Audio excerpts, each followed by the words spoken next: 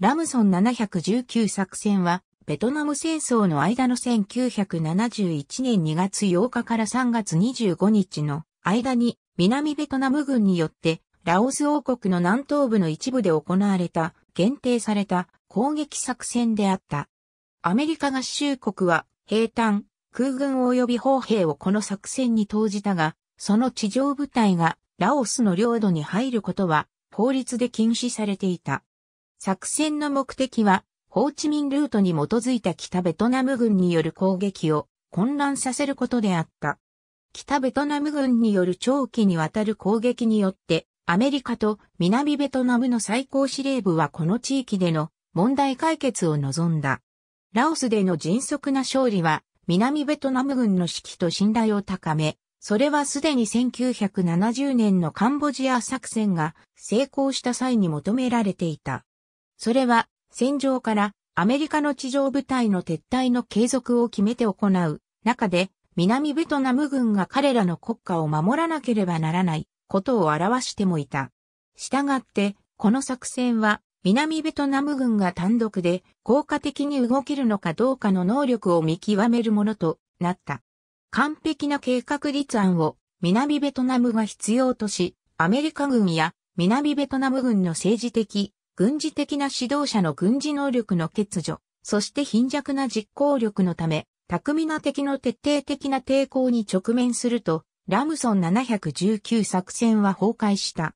この戦役はその最も優秀な部隊を多数、壊滅させたり、以前の作戦成功を築き上げてきた信頼を破壊したという点で、南ベトナム軍にとって打撃となった。ベトナミゼーション、アメリカの民間人と軍当局者によって南ベトナムを共産主義から守り、アメリカの撤退が完了する最高の方法であると宣言された方針は失敗だったと判明した。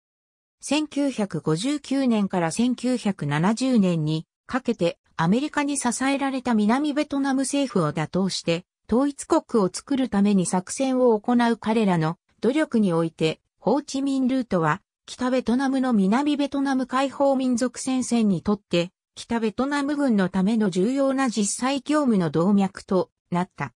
南東ブラオスで、そして南ベトナムの西部に北ベトナムの南西の角を走って貫通するホーチミンルートは1966年から始まったアメリカの継続された防樹妨害の標的だった。しかし空爆を支持する小規模の秘密工作だけはホーチミンルートでの兵隊と軍需品の流れを止めるために、ラオス内で地上で実行された。1966年以降、ジャリトミ舗装道路、経路と南東部ラオスを縦横に動いた。そして、シアヌークトレールとして知られている隣接するカンボジアで、類似した実際業務のシステムと結びついた、川輸送機関システムの迷路を、63万人以上の兵隊、10万トンの食品、40万の武器と5万トンの弾薬が運ばれた。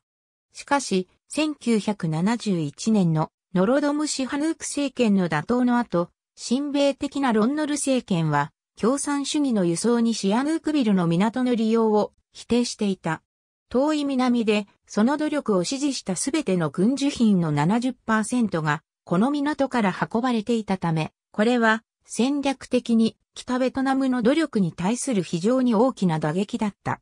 カンボジアの実際業務のシステムに対するさらなる打撃は1970年の春と夏に来た。その時、アメリカ軍と南ベトナム軍は境界を横切ってカンボジア戦役の間に北ベトナム軍とベトコンの基地を攻撃した。カンボジアでの北ベトナムの実際業務システムが完全に破壊されたので、その時がラオスで類似した戦役のために好都合であると、サイゴンのアメリカ軍本部は断定した。そのような活動が行われることになっているならば、アメリカ軍の戦力がまだ南ベトナムで利用できる間、いち早く、それをすることが最高だと、アメリカ軍司令部は、最後のアメリカ軍が南ベトナムを出発していて、それによって1年間、もしかしたら2年間北地方で可能性がある。共産主義の攻撃から米国とその同盟国に一時中断を与えるので、そのような活動は後で北ベトナム軍とベトコンに12ヶ月から18ヶ月後に供給不足をもたらすと感じさせた。ちょうどそのような北ベトナムの攻撃を告げた活動、南東部ラオスでの重い共産主義の平坦業務の活動の兆候は増加していた。共産主義の攻撃は通常ラオスの乾いた季節の終わりの近くで起こった。そして北ベトナム軍実際業務の軍隊のためにシステムによって必需品を動かす作業は季節の真最中の間に行われた。ホーチミンルートに沿って来ている北ベトナム軍軍需品の90%が南ベトナムの3つの最北の地方に送られていると、一つのアメリカの諜報活動報告は見積もった。そして攻撃的な行動に備えて備蓄して前線に指示した。この増強はワシントンとアメリカ人に司令部を警戒させ、将来の共産主義者の目的を乱すために無駄な攻撃を急がせた。この地図は諸位、ホーチミンルートを共産軍が侵入した場所を示している1970年12月8日にアメリカ統合参謀本部からの要請に応じて南東部ラオスに南ベトナム軍による越境攻撃の可能性を議論するため、高度に秘密の会議は南ベトナム軍事援助司令部のサイゴン本部で開催された。クレイトン・エイブラムス将軍によると、攻撃を目的とした主要な刺激はアレクサンダー・ヘーグ大佐からもたらされた。南ベトナム軍事援助司令部は、南東部ラオスで北ベトナム軍が兵隊業務を増強するという情報によって妨げられたが、南ベトナム軍に北ベトナム人に対して独力で立ち向かわせ続けるのを躊躇した。その後、このグループによる調査結果は12月中旬にワシントン DC で統合参謀本部に改装された。リチャード・ニクソン大統領がラオスで想定される攻撃的な行動にも興味をそそられて、エイブラムス将軍とメンバーに越境攻撃の有効性を彼の内閣を納得させる努力も開始した。ヘーグによって不当な圧力がニクソン大統領にかけられているのをエイブラムスは感じた。しかしヘーグは軍部はそういう作戦に対する熱意に欠けており、ニクソン大統領やキッシンジャーに無慈悲にもせかされ、ペンタゴンは最終的にラオスの作戦の計画を考案したと後に書いた。そのような作戦から発生し得る他の可能性のある利益も同様に議論されていた。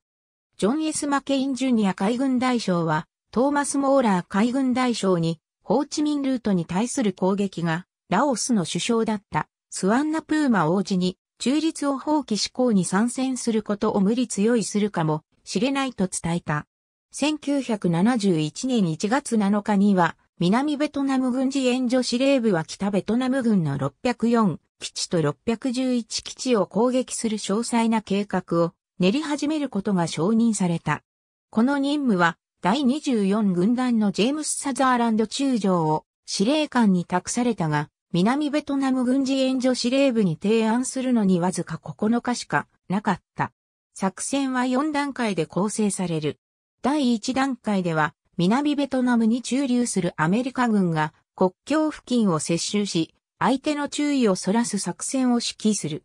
その次には、国道9号に沿って、南ベトナム軍の装甲不評隊が604基地との結びつきが築かれていた、ラオスの捨てられた町、チェポネに向かって国道9号に沿って南ベトナム軍の装甲不評隊の攻撃が行われる。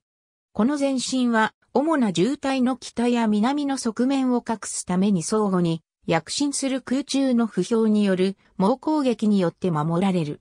第3段階では604基地内での探索や破壊行為が達成され、最終的に南ベトナム軍が国道9号の後ろ側まで退去するか、あるいは611基地を通ってアシャウ谷の外に出る。雨季が進行中だった5月の初めまでに軍がラオスに止まることが望まれた。南ベトナム軍の悪名高いララシナサのせいで、安全性の予防処置や作戦に関する情報を暴く、共産主義工作員の不気味な能力ということになれば、予定されていた計画はわずか数週間しか続かず、アメリカ側とベトナム側の最高司令官に分断されていた。より下のレベルでは、それはホアンス・アンダム中将の下に置かれた南ベトナム軍第一兵団の諜報部員や作戦のスタッフに、そしてサザーランド将軍を頂点とする第24兵団に限定されていた。ラムが南ベトナム軍事援助司令部によって最終的に説明を受けたとき、この計画そのものを書くのを手伝ったにもかかわらず、彼の作戦主任は会議に出席することを禁止された。この会議でラムの作戦領域は国道9号の片側の15マイル以内の小道に制限され、チェポネーより先に入り込んではならないとされた。特に高度に政治的にされた南ベトナムの指揮、命令系統では、大物政治家の指示が昇進や命令する立場についての最高の決定力を持っていたので、この作戦の命令、統制、調整は支障をきたしつつあった。レ・グエンカン中将は、ベトナム海軍の司令官で、グエンカオキ副大統領の子分であったが、彼の部隊はこの作戦に参加することが計画されていた。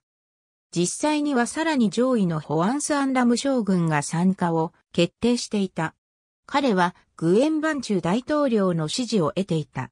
同じ状況が同様に計画参加が決まっていた南ベトナム空軍の司令官だったズーク・オックドン、中将にも当てはまった。侵入が開始された後、両者とも最後に残り、ラムからの命令を受けるのではなくむしろ彼らの命令権限をより下の将校に委任した。これは作戦の成功を十分に予示するものではなかった。それぞれの部隊は1月17日まで彼らの計画された参加について知らされていなかった。2月2日までは詳細を受け取っていなかった作戦を導くことになっていた空挺師団が、この作戦が始まるまで1週間にも満たない日数しかなかった。2、多くの部隊、特に空挺師団と海軍は、大隊と旅団に分けられていて、作戦行動や共に行動する経験がなかったので、これは決定的に重要だった。第101空挺師団の副司令官によると、計画立案は急がれて、情報管理の制限の下で、ベトナム軍とアメリカ軍によって分割運営されていたという。この作戦でのアメリカの役割は1969年に南ベトナムの北西部でアメリカ海軍によって指揮された本来の作戦にちなんでデューイキャニオン2号という題名を生み出した。前の作戦についての参照がハノイを実際の提案された侵入対象として混乱させることが期待された。南ベトナム軍の立場は、伝説上のベトナムの愛国者、ハジムリの生まれ故郷の村にちなみ、ラムソン719という呼び名が与えられた。ハジムリは1427年に中国軍の侵略を打ち負かした。数字による命名は1971年という年と攻撃の主な軸は国道9号に由来していた。この決定は最高幹部たちによって行われ、計画立案は完了したが、貴重な時間が失われた。南ベトナム軍が最も大きな、最も複雑な、そしてベトナム戦争における最も重要な作戦を始めようとしていた。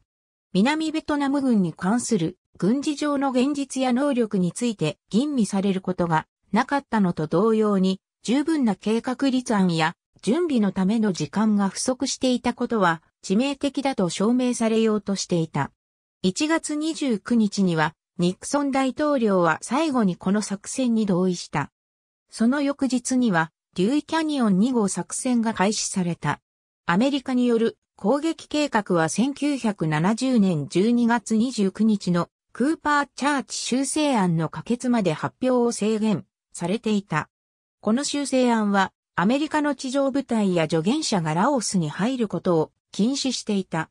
したがってデューイキャニオン2号作戦は国道9号を再開するために1968年にアメリカによって放棄されていた古びたケソン戦闘基地へのすべての道を再開する。この基地は再開され、平坦の中核や南ベトナム軍侵入の空挺補として使用される。アメリカの戦闘技術者は、不評や機構化された部隊が道路の長さに沿って情報のやり取りのパイプを安全にする中で国道9号をきれいにすること、毛、債務を復帰させることという仕事を課せられた。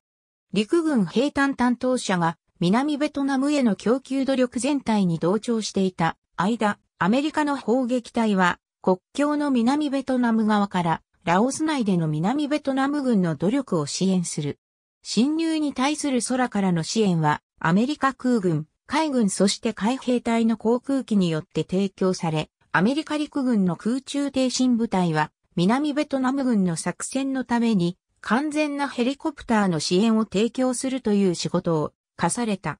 アメリカ軍はこれらの任務に目印をつけた。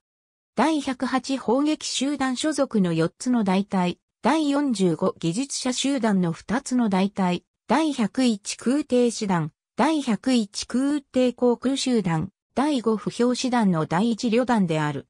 旅団の不評隊がヘリコプターで直接、計算地方に運ばれていた頃に、1月30日の朝に、第5不評師団の第1旅団の走行技術者は、国道9号を西に進んだ。2月5日までは、国道9号の安全性が、ラオス国境まで守られた。同時に、第101空挺師団が、北ベトナム軍の集中力をケサンからアシャウダニへと遠ざけるために陽動を始めた。戦闘基地では悪天候、障害物、地雷、不発弾が滑走路の復帰を予定より1週間遅れて後押しした。その反応として完全に新しい滑走路が建設され、最初の航空機が2月15日に到着した。北ベトナムの抵抗はほとんどなくアメリカの損失も軽度だった。しかしながら、ケサイン周辺には以前は同盟国軍が駐留していなかったので、北ベトナムはこの地域で大規模な軍を保つ必要性を認識していなかった。サザーランド将軍は、ケサンへの前進がアメリカと北ベトナム軍との競争であり、アメリカが勝つと信じていた。接近してくる南ベトナムの作戦の安全性を保護するために、エイブラムス将軍は軍隊の動きについて珍しい報道規制を課したが、効果はなかった。2月4日の禁止の前でさえ共産権やアメリカ以外の報道機関は強化を報じ、攻撃に関する推論はアメリカでも新聞の一面に載った。カンボジア戦役の事例を見ていたので、ラオス政府は意図された作戦を通知されなかった。その計画が進行した後にのみ、スワンナ・プーマ首相は彼の想定された中立国という立場が侵害されているのを悟った。1971年の初めまでに北ベトナムの部隊の604基地の強さはアメリカの諜報機関によって2万2000人の人々、7000人の戦闘部隊、1万人の軍人が兵隊や支援部隊に5000人のパテートラーを党員がいて、そのすべてが新設された第70戦線の指揮命令系統の下に置かれていると見積もられた。この攻撃に対する北ベトナム軍の予想される反応がどういうものであるのかについて異なる見解が示された。エイブラムス将軍はカンボジアとは異なり北ベトナム軍はラオスの基地を守るために立ち上がって戦うだろうと信じた。12月11日早朝に彼はマケイン艦隊司令長官に次のように報告していた。強い不評隊、装甲部隊、そして砲撃体制は南部ラオスにあった。恐ろしい空の防衛は山の多い地形に配置され、ジャングルで覆われた地形は加えられた負債だ。ヘリコプター上陸のための手付け数の自然は不十分で手厚く守られている。敵の戦闘部隊の組織はチェポネ周辺にあり、北ベトナム軍はその基地領域や兵隊中枢部を同盟国の作戦に対して防衛することが予想される。1970年の予期された CIA の調査は、エイブラムス将軍の関心を引き、北ベトナム軍の反応、彼らの気質に対する尊重、思考回路について際立って正確だった1月21日の覚書によって指示されていた。その一方で、南ベトナム軍事援助司令部の諜報部門は、ほんのわずか侵略に反対していると確信していた。戦術的な空爆や砲撃準備はこの地域にあると信じられていたわけ170から200の反航空機の武器を無力化し、北ベトナム軍の装甲部隊による脅しは最小であると考えられていた。北ベトナム軍の補強能力は、非武装地帯の北部に2つの師団を14日で設置し、陽動作戦がラムソン719の持続のために彼らを縛り付けるだろうと望まれた。不運なことに北ベトナムの補強が実現した時には彼らの予想に反して北からは来ず611基地やアシャウダニから南まで移動し有機的な砲撃部隊によって支えられていたすべては2週間以内の更新であった。途中で止められたラジオメッセージの文章が敵が我々の運搬の仕組みを断ち切るために攻撃するかもしれない。動員の準備をしろ。油断するなと読み上げられたとき、北ベトナムは1月26日早朝までに作戦のいくつかの種類を用意していた。侵略に先立ち、知られていた反航空兵器の位置を抑え込むという戦術上の攻撃は悪天候が原因で実行までに2日間中吊り状態となった。大規模な事前の砲撃と11機の B-52 ストラトフォートレスの任務の後に侵略は2月8日に始まり、4000人の南ベトナム軍の装甲不評隊、第3旅団と第8航空大隊が敵がいない中で国道9号を西に進んだ。北部の側面を隠すために南ベトナム軍の空挺やレンジャー隊、第21レンジャー大隊がレンジャーサウスに移動している間に、南ベトナム軍第39レンジャー大隊は、レンジャーノースとして知られる上陸地帯にヘリコプターで運ばれた。前哨部隊は、南ベトナム軍が侵入する領域へのいかなる共産主義者による攻撃に対する罠の針金として務めると決められていた。そうしている間に、第三空挺旅団本部や第三空挺大隊が射撃支援基地31に向かっている間に第二空挺大隊が射撃支援基地30を占領した。第一不評師団が主な全進軍の南の側面を覆いながら同時にブルー、ドン、ホワイトそしてブラウンという上陸地帯、ホテル、デルタ、そしてデルタ1という射撃基地を猛攻撃した。中央渋滞の任務は密生地の比較的平らな領域がジャングルの小区画に点在して、その北と川への高所と南へのより多くの山によって支配されていたセポネ川の谷を降りていくことだった。ほとんど直後に支援ヘリコプターが高所から火を放ち始め、北ベトナム軍の砲手が未登録の機関銃や致命的な居場所から飛行機に火炎を噴射するのを許した。前進状況を悪くすること、国道9号が悪条件の中で、無限軌道の乗り物やジープが西への行軍を行うことができただけだった。これは、戦力強化と再供給負担を投げかけた。それから、ヘリコプター部隊は低い雲が覆っていることと絶え間ない対空砲火のせいで、後方支援の必要不可欠な方法になった。南ベトナム軍の主要な戦車 M41 系戦車、飛行機動部隊は、バンドニエの国道9号のすべての道、ラオスの内側へ 20km、そしてチェポネへの道ほぼ半分を確保した。2月11日までにはアルオイは、中心的な射撃基地や作戦の司令部になった。それから、計画は主要な目的を守るために素早い地上、攻撃を必要としたが、ラム将軍から発せられる命令を待っている間、南ベトナム軍はアロイレ遅れを取った。二日後、エイブラムス、サザーランド両将軍は予定表の速度を上げるためにドン派で、ラムの将来の司令官の立場から左遷した。将軍たちの会議で代わりに計画された前進を守るために国道9号を西へと向かう第一師団の前線を延長することが決定された。これでさらに5日間がかかった。ワシントンに話を戻ると、メルビン・ライアード国防長官と統合参謀本部は、記者たちから寄せられた南ベトナム軍の前進が止まったという指摘に反論を試みた。記者会見で、ライアード派ルオイでの中断は単なる一時的休憩であり、それが南ベトナム軍司令部に敵の動きを注視して評価する機会を与えている。作戦は計画通りに動いていると主張した。侵入に対する共産主義者の反応は緩やかだった。ハノイの注意力は北ベトナムの海岸でアメリカ海軍の機動部隊によって指揮されていたもう一つの陽動作戦に固定された。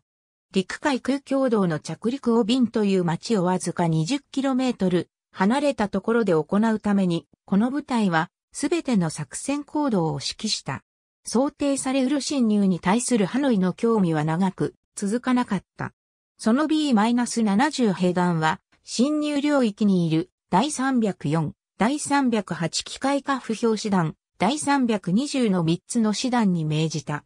北ベトナム軍の第2師団も同様に南からチェポネに動き、それから南ベトナム軍を脅かすために東に移動し始めた。3月上旬までに、ハノイは南ベトナム軍を2対1という数で圧倒するために3万6千人をこの地域に集結させた。北ベトナム軍によって侵入を打ち負かす。選ばれた方法は、最初に北部の射撃基地を航空妨害砲兵隊を利用することで孤立させることだった。前哨部隊は、その後24時間連続の決死の砲兵とロケット砲によって叩かれる。南ベトナム軍の射撃基地はそれら自体が砲兵隊によって装備されていたが、彼らの銃は北ベトナム軍のソ連供給の 122mm や 130mm の武器によって素早く射程の外に向けられた。それらは単に陣地を思うままに攻撃した。B-52 の爆撃を利用することで供給された防御の円は共産軍の隣接する戦術によって無力化された。砲兵隊や機構部隊によって支援された大規模な地上攻撃はその後にその仕事を完了させた。それから間もない2月18日に北ベトナム軍はレンジャーノースとサウスで炎による攻撃を開始していた。その翌日には攻撃はレンジャーノースに移った。前哨部隊に対する地上作戦は北ベトナム軍のソ連製の PT-76 と T-54 によって支援されていた第308師団の第102連隊によって指揮された。レンジャー隊は頑固にも一晩中持ちこたえた。グエンバン中大統領は以前の野襲を忘れ去っており、第一兵団本部を訪問してその時にラム将軍にチェポネへの前進を延期し、作戦の着眼点を南西方向に移すようにと助言した。20日の午後までには、第39レンジャー大隊は500人から320人までに減らされ、その司令官は、レンジャーサウスに 6km 離れよと撤退を命じた。109人の生存者のみが、日暮れまでにレンジャーサウスに到着した。600人以上の北ベトナム軍の兵隊が攻撃中に死亡したと見積もられたが、3日間の戦闘での死傷者数は南ベトナム軍大隊の75%に達した。北ベトナム軍の集中力はその後にレンジャーサウスに移った。そこではレンジャーノースの生存者100人を含んだ400人の南ベトナム軍の兵隊がラム将軍が射撃基地30へと東南方向に 5km 戦えと命じる前にさらに2日間全勝部隊を組織していた。戦闘のもう一人の死傷者は、不正直な人物ではあったが、南ベトナム軍の将軍で、カンボジア戦役の英雄で、第三兵団の司令官でもあったドカオチだった。中大統領に命じられ、卓越していたラム将軍を引き継ぐことになっていたドカオチは、ヘリコプターの衝突で司令官就任の前の2月23日に死亡した。同じ日に国道9号の射撃基地ホテルも同様に猛烈な砲撃不評隊の攻撃にさらされた。それは翌日に撤退した。射撃基地31は次に共産主義勢力の手に陥る南ベトナム軍の陣営だった。空挺師団の司令官、ドン将軍は彼の精鋭落下三兵を静止した守りの陣営に配置することに反対し、彼の兵隊が通常の攻撃能力を消滅させられたと感じた。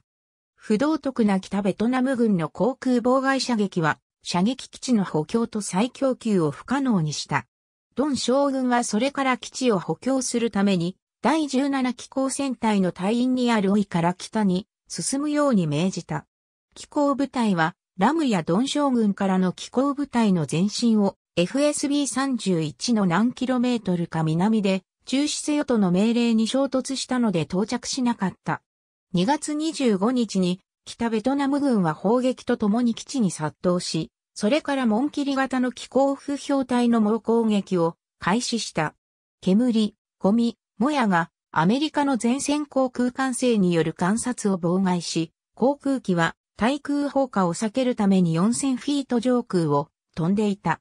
アメリカ空軍の海 -4 ファントムがこの地域で撃墜された時、前線航空管制は支援努力を墜落した航空機の生存者救出に専念させ、基地の宿命に封をした。北ベトナム軍の兵隊や戦車は一連の過程の中で、南ベトナム軍の旅団の司令官を捕まえて陣営を占拠した。FSB31 は250人が死亡し11台の PT-76 や T-54 戦車を破壊されるという大空挺は155人が死亡し100人が捕まるという苦痛を味わった。ソ連製の T-54、T-55 戦車、FSB30 は1週間しか保たなかった。基地が置かれていた丘の険しさは、機構部隊の攻撃を妨害したが、北ベトナム軍の砲兵爆撃は非常に効果的だった。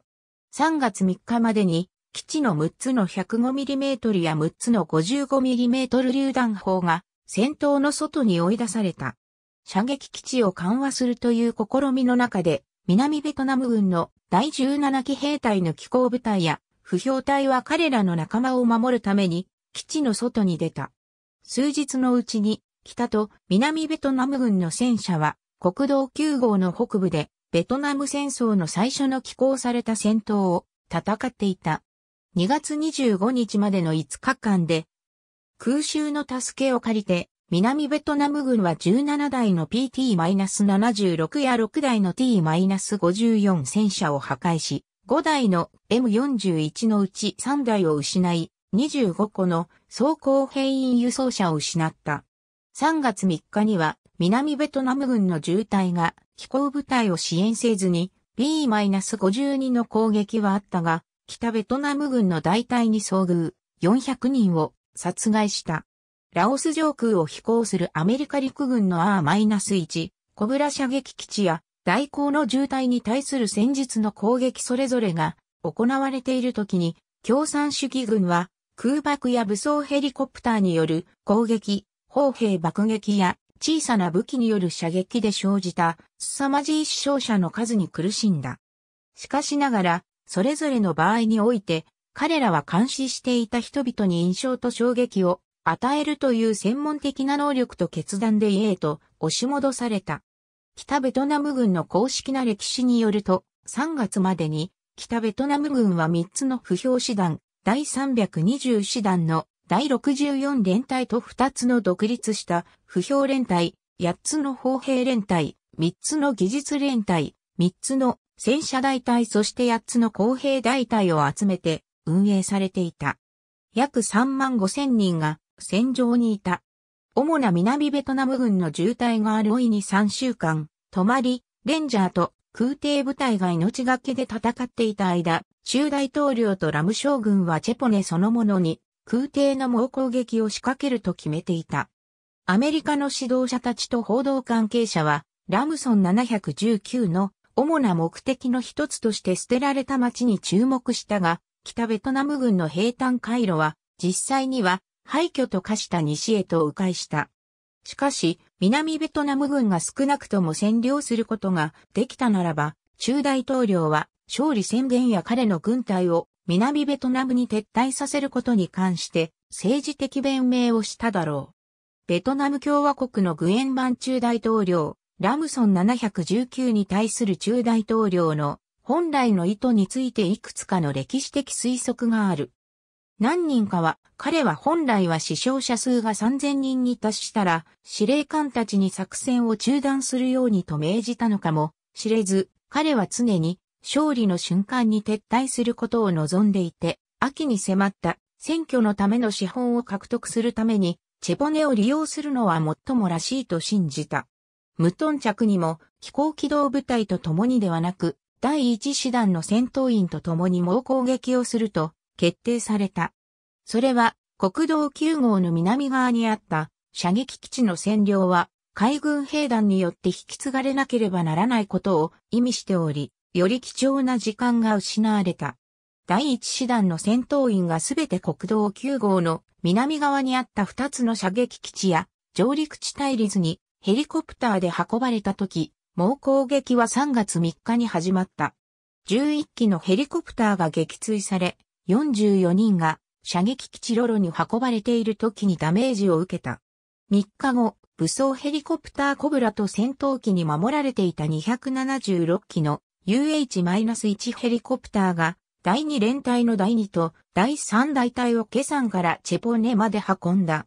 これはベトナム戦争で最大のヘリボーン作戦だった。戦闘部隊がチェポネから北東に 4km 離れた上陸地帯ホープを猛攻撃していた時に、一機が対空砲火により撃墜されている。二日間二つの大隊は、チェポネやその周辺を探したが、少ししか空の攻撃によって死亡した北ベトナム軍の兵士の死体は見つからなかった。北ベトナム軍は射撃基地、特にロロとホープに対する日常的な砲兵爆撃を増やすことによって答えた。彼らのラオスでの目標は外見上は達成したが、中大統領とラム将軍は604基地を破壊し、行く手で発見される軍事品をすべて破壊する南ベトナム軍に3月9日に始まって月の残りを通して行われることになっていた撤退を命じた。エイブラムス将軍はラオスでの軍隊を補強するようにと中大統領に懇願し、彼らは雨季の始まりまでに崩壊し続けると主張した。不運なことに、戦いはハノイの優位性を高めた。航空妨害射撃は破壊的なままで、共産主義者は戦場において、彼らの軍に再供給することや補強することに、滞りはなかった。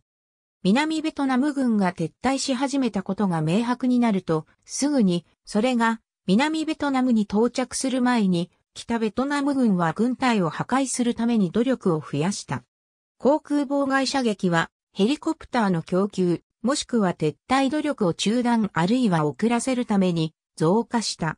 人手不足の射撃基地は攻撃され、南ベトナム軍の地上部隊は国道9号に沿っていた待ち伏せによる集中攻撃を通り抜けなければならなかった。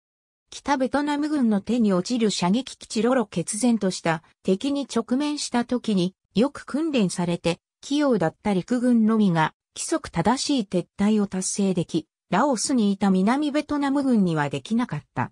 撤退は素早く総崩れになった。一つずつ孤立した射撃基地は閉鎖、もしくは北ベトナム軍によって荒らされ、それぞれの撤退は高くついた。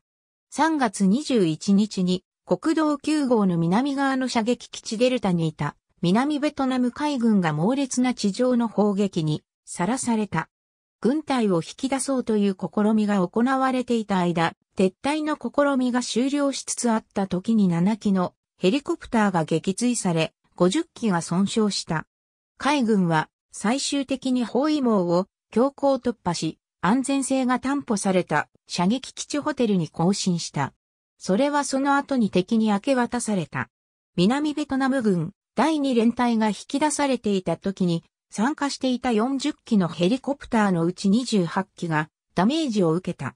その乗り物の多くを故障や待ち伏せをするのに失い、走行機動部隊はほとんどうまくいかなかった。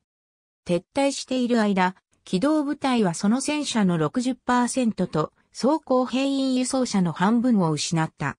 それは同様に54丁の 105mm と28丁の 155mm 榴弾砲を廃棄させた。この装備は共産主義者によって再利用されるのを防ぐためにアメリカの航空機によって破壊されなければならなかった。国道9号での撤退を援護していたのは第一機考慮団だった。それは南ベトナム軍空挺師団所属だった。捕虜によって二つの北ベトナム軍の連隊が待ち伏せしているという情報が伝えられたとき、旅団の司令官だったグエンチョン・ルアット大佐は、ドン将軍に状況を報告した。空挺司令官は、軍隊の中に空輸して、道を開いたが、ルアット大佐に報告することを煩わしく感じなかった。国道9号での破壊を避けるために、それからルアット大佐は渋滞ね道路を南ベトナム国境から5マイルだけを明け渡すようにと命じ、後方で無防備な道を探しているジャングルの通り道に入り込んだ。ルートはセポン川の険しい岸で行き詰まり、軍は罠にはめられた。北ベトナム軍は閉鎖し残忍な後方保護攻撃が続いた。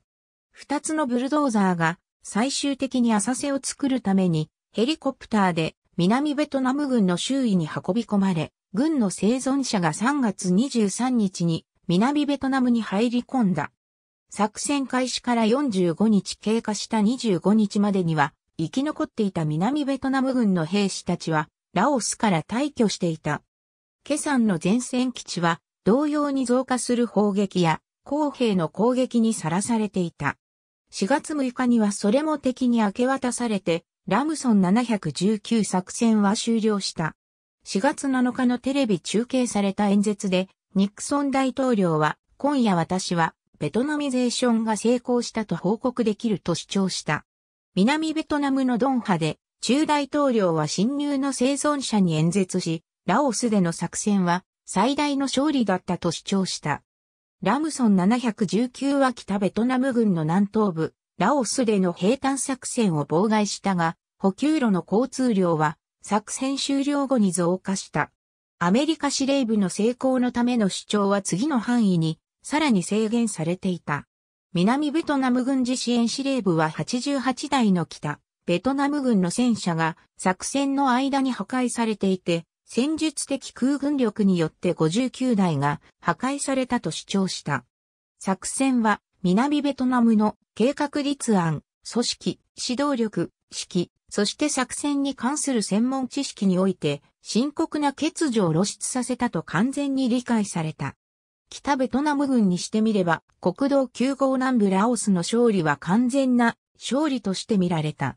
1970年に始まったラオス軍の出費で行われたホーチミンルートでの西への軍事拡張は素早く進められた。ラオス軍は間もなくメコン川の方へ撤退し、60マイル幅の平坦砲撃はすぐに90マイルに広げられた。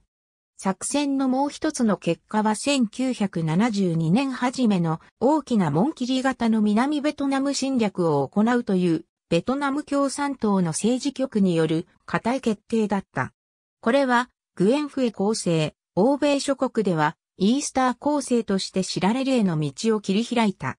作戦の間に多くのヘリコプターが撃墜、または損傷したことがアメリカ陸軍に衝撃を与え、基本的な空中機動作戦の再評価を促した。例えば、第101空挺師団では、航空機84機を破壊され、430機が損傷した。アメリカと南ベトナム共同のヘリコプターは、全体で108機が撃墜され、618機が損傷した。ラムソン719の期間中、アメリカ軍のヘリコプターは16万以上の装置を行い、19人のアメリカ陸軍飛行士が死亡、59人が負傷、そして11人が行方不明となった。南ベトナム軍のヘリコプターは補足的任務で5500回飛んだ。アメリカ軍の戦術航空機は8000艘。これとは別に B-52 爆撃機が軍需品輸送にも投入され、1358、装置で3万2000トンを投下した。